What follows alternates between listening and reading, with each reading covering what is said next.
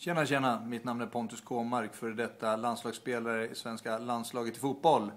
Eh, självklart är jag med och stöttar Ge tillbaka. Väldigt, väldigt bra initiativ och även den här aktionen som ska hållas. Viktigt att man tar hand om ungdomarna. Eh, jag är med. Frågan är om du också är det.